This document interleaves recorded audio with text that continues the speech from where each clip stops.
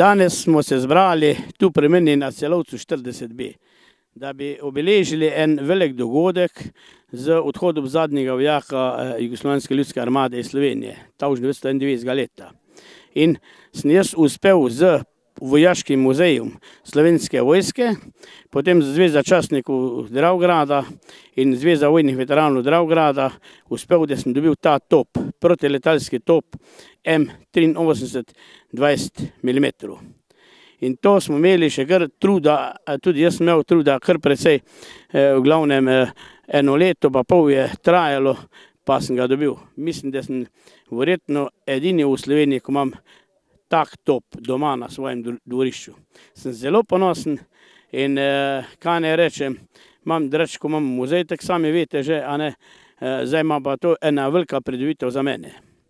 Živi naj si narodi, ki hrbteni dočaka dan, da kode sonce hodi, prebili sveta bo pregnan.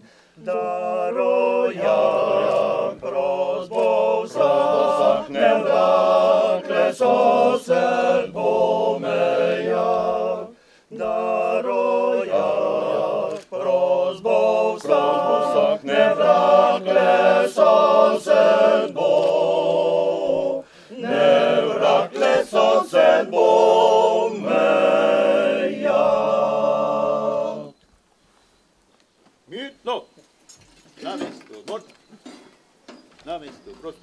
Drage obiskovalke in obiskovalci, lepo pozdravljeni tukaj na Selovcu.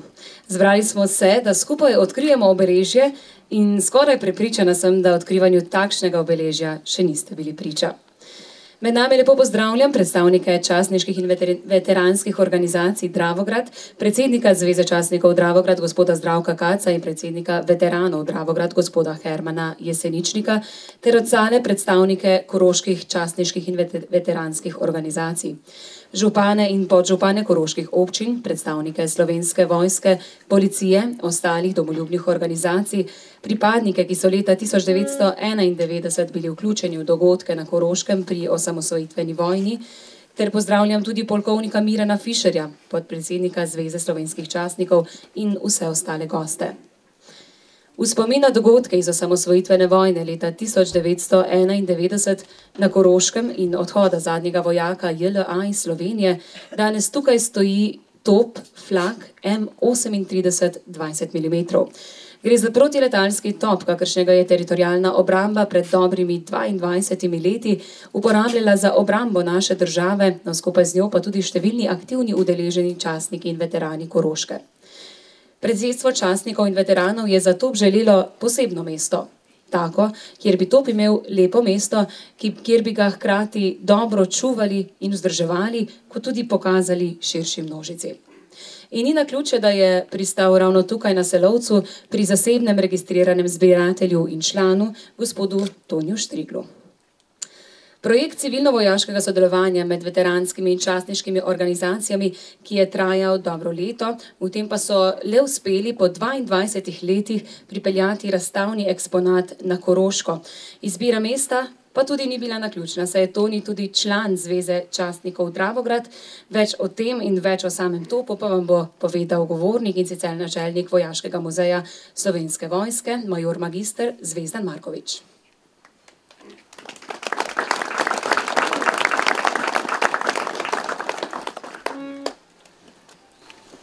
Spoštovani župani in podžupani koroških občin, spoštovani podpredsednik Zveze slovenskih častnikov, polkovnik Miran Fišer, spoštovani predsednik Zveze slovenskih častnikov Dravograd, stotnik Zdravko Kac, spoštovani predsednik Območnega združenja veteranov vojne za Slovenijo Dravograd, gospod Herman Jeseničnik, spoštovani predstavniki slovenske policije, spoštovani veterani vojne za Slovenijo devetnajststo enaindevetdeset, spoštovani gostje.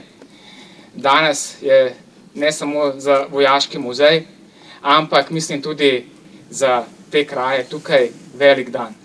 V tem prelepem delu naše ljube domovine Slovenije, danes bomo odkrili spominsko obeležje na dogodke pred dvaindvajsetimi leti, ravno v tem obdobju, ko tudi mineva 22 let ob odhodu zadnjega vojaka jugoslovanske armade, oziroma kot mi rajši rečemo, prevzemu popolne suverenosti nad slovenskim ozemljem. Uh, kar nekaj časa je trajalo, slišali smo skoraj eno leto, od prvih pobud, da bi v sklopu tega civilno-vojaškega sodelovanja uresničili tudi postavitev nekega spominskega obeležja na dogodke na leto 91. Uh, nekaj časa smo se tukaj usklajevali, pogovarjali s predsednikom Zveze slovenskih častnikov Dravograd, stotnikom Kacom in pa eh, predsednikom območnega združenja veteranov vojne za Slovenijo Dravograd, gospodom Jeseničnikom, o tem, kje bi bila ustrezna lokacija in pa seveda tudi kakšen eksponat bi bil primeren. Eh, nekako je bilo skupno izhodišče, da bi najbolj ustrezno bilo, da postavimo nekje na kraju, ki je obiskan, da bo tudi ta, to spominsko obeležje opominjalo in spominjalo ne samo udeležence vojne 91, ampak tudi mlajše generacije, da se bodo ob obisku tega spominskega obeležja ustavile in tudi pomislile, kaj so njihovi starši ali stari starši morali pretrpeti za to, da danes lahko živijo v samostojni republiki Sloveniji, ki je zagotovo ena najvišjih vrednot, ki jo lahko uživamo. Lahko rečemo, da Koroška sama je krvavela skozi različna obdobja za obstoj slovenstva v tem koncu Evrope, v tem delu sveta. Krvavela je tako v preteklih stoletjih, zlasti pa v 20. stoletju trije taki veliki prelomni dogodki so bili in sicer spomnimo se boja za severno mejo, takoj po koncu prve svetovne vojne, ko je bilo prebivalstvo izčrpano, izstradano od strahot prve svetovne vojne, velike morije, največje morije do tedaj, je takoj bilo treba stopiti, strniti vrste in uh, uložiti velike napore, da se meja proti Avstriji vzpostavi tukaj, kjer poteka. Drugi takšen prelomni dogodek je obdobje 41-45, ko so preko tega ozemlja tukaj hrumele trume okupatorjevih vojakov in zasedle naše kraje za dobra štiri leta. In naslednji takšen dogodek je bil v obdobju 90-91, ko se je šlo dejansko za biti ali ne biti Slovenije tukaj za obranitev in ohranitev demokratičnih procesov in pa vrednot, ki so se koncem 80-ih in v začetku 90-ih let 20. stoletja začeli dogajati na teh naših tleh. In ravno v spomin na te dogodke nekako se nam je zdelo, da postavimo ta protiletalski top kot spominsko obeležje, ki nekako simbolizira obdobja in druge svetovne vojne in pa obdobje osamosvitvene vojne. Ne na zadnje tudi določene enote teritorijalne obrambe Republike Slovenije 1921. leta so obranile nebo nad Slovenijo ravno s tem topom. Vemo, da so bili tudi nekateri drugi protiletalski topovi takrat v formacijah teritorijalne obrambe. Vendar tudi ta top je bil v določenih enotah. Veliko krat slišimo to svetopisansko prispodobo tudi za obdobje osamosvitvene vojne, vojne za Slovenijo 91, namreč, da je bil to spopad Davida in Goljata. Dejansko lahko rečemo, nasprotnik v tem spopadu je imel neverjetno premoč v primerjavi z, z močjo teritorijalne obrambe, tako v zraku, kot tudi na kopnem. A vendarle z velikimi napori in pa enotnostjo, ki je takrat prevladovala, je uspelo tega nasprotnika in tega Goljata premagati v tistem obdobju in zagotoviti suverenost Sloveniji. Zato nas še posebej veseli, da danes lahko kot pripadniki Vojaškega muzeja in kot načelnik Vojaškega muzeja prisustvujem pri odkritju tega spominskega obeležja tukaj na Koroškem, kjer želimo tudi s tem dejanjem okrepiti in obogatiti civilno vojaško sodelovanje med civilnim okoljem in pa slovensko vojsko. Da vidite tudi, da pripadnikom slovenske vojske nam ni malo mar za to sodelovanje, da radi sodelujemo tudi na tem koncu, da čeprav nekateri rečejo, vse ta konec je pa dokaj oddaljen od Ljubljane, da vseeno z veseljem pridemo sem in tudi tukaj damo nek svoj prispevek za obogatitev spomina in pa ohranitev zgodovinskega spomina na te že prej, da rečem, slavne dogodke naše vojaške in pa nacionalne zgodovine. In seveda tisto, kar nas še posebej veseli, je to, da smo našli primerno lokacijo v sodelovanju tako Zvezo slovenskih častnikov, z veteransko organizacijo tukaj v Dravogradu in pa seveda pripravljenost zasebnega zbiralca gospoda Antona Štrigla, ki je prav tako pripadnik obeh organizacij, da lahko postavimo tu na tem mestu pri njegovem zasebnem muzeju, kjer bodo lahko obiskovalci njegovega zasebnega muzeja tudi videli to spominsko obeležje in se seznanili, kot sem že prej rekel, z vsem tem dogajanjem, kajti verjamem, da bo tudi gospod Štrigl ustrezno jim uspel predstaviti, kaj se je dogajalo v tem obdobju, ko se Slovenija osamosvajala.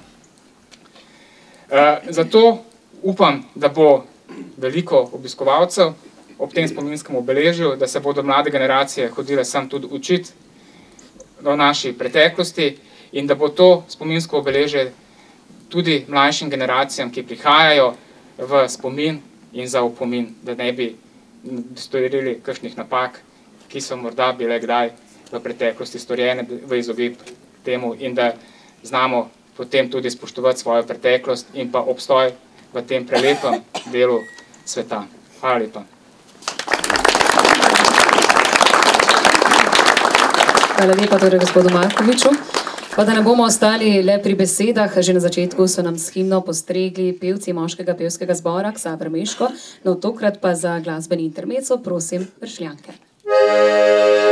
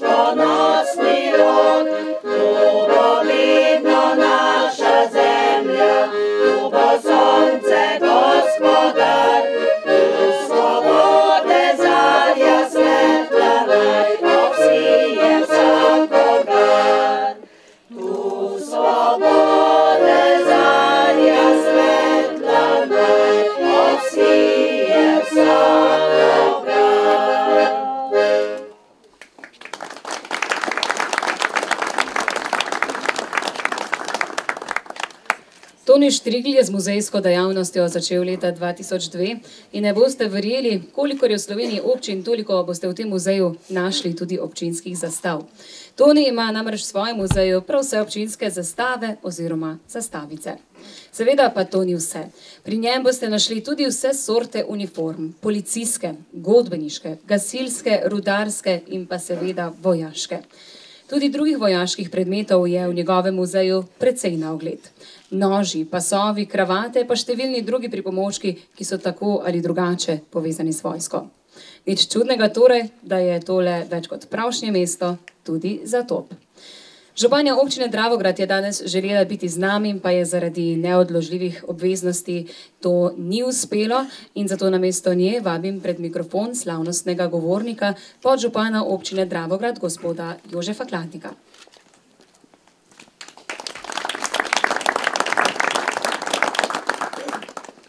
En lep dober dan, sončen pozdrav tudi v mojem imenu in v imenu občine Dravograd.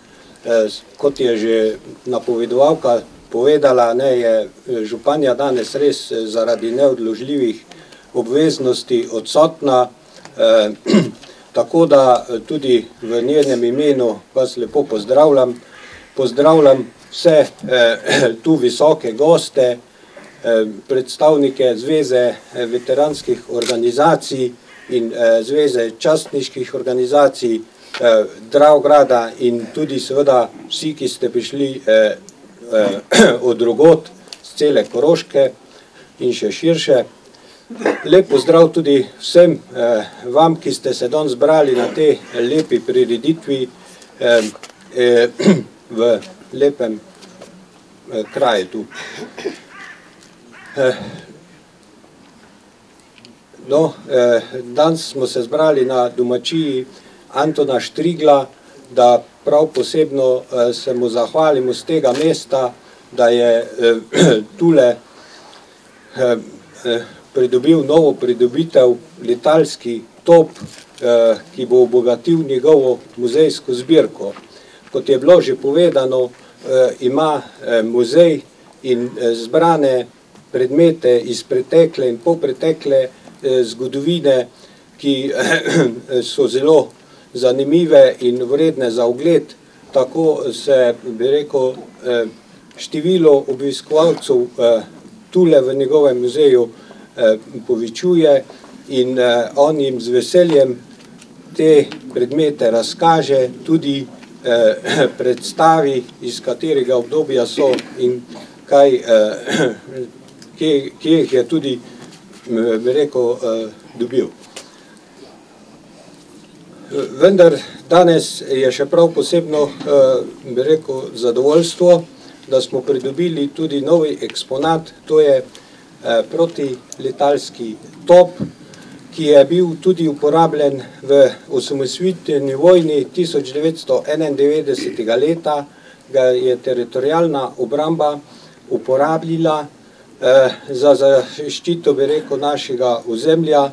Bili so te topovi nameščeni tudi v Dravogradu, kjer smo se pač mogli braniti z protiletalskim napadom leta enaindevetdeset v juniju, ko je Jugoslovanska ljudska armada grozila, da bo Dravograd zravnala z zemljo, vendar razum je prevladal in migi, ki so preleteli Dravograd in odvrgli bombe v Dravo, žal, mislim na srečo našo, niso nam povzročili kake večje materialne škode. Dravograd pa se je pravzaprav v tem obdobju leta enaindevetdeset še posebej izkazal, saj smo zadržali oklepno motorizirano kolono pred Dravogradom in ta se je tudi potem predala, ker je bila, bi rekel, obkoljena z vseh strani in ni, ni mogla več vojno delovati. Tako smo smo v tem obdobju potem uspešno zaključili to tole eh, akcijo in je eh, se motorizirana eh, oklepna eh, kolona umaknila iz eh, eh, Dravograda. Eh, Koroška eh, je pa v tem času tudi uspešno izpeljala eh, rekel, eh, predajo vseh vojašnic eh, in pa zasedbo mejnih prihodov. Tako da smo eh, eh, res veliko pripomogli k eh, dejanjem v osamosvojitveni vojni 1991. leta. Tako se lahko danes z veseljem in pa z zadovoljstvom eh, spominjamo na to, da smo eh, eh, 22 let eh, že preživeli v svobodi in da smo eh, se osamosvojili kot eh, Republika Slovenija in eh, v prav teh dneh, pred 22 letih, je tudi zadnji vojak Jugoslovanske ljudske armade zapustil slovensko ozemlje. Vsem vam želim še lep sončen dan in eh, eh, lepo ga preživite še naprej. Hvala.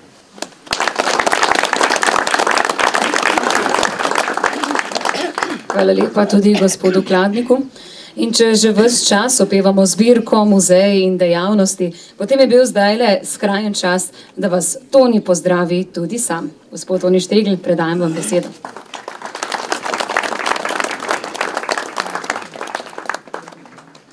Jaz bi vas prav vse lepo pozdravil in se vam zahvalil, da ste prišli na to veliko prireditev, na to slovesnost, ko sem si cel življenje žel- želel.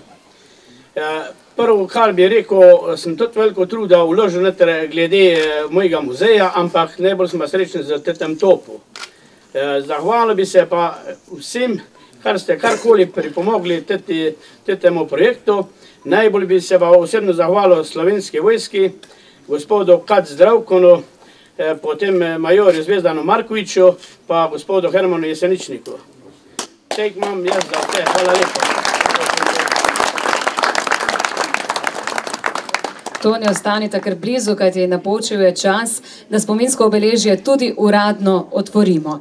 Vabim torej načelnika Vojaškega muzeja Slovenske vojske, gospoda Zvezdana Markoviča, predsednika Zveze častnikov Dravograd, gospoda Zdravka Kaca, predsednika Zveze vojnih veteranov, gospoda Hermana Jeseničnika in podžupana občine Dravograd, gospoda Hladnika, da se pridružijo Toniju Štriglu in torej tudi uradno otvorijo spominsko obeležje.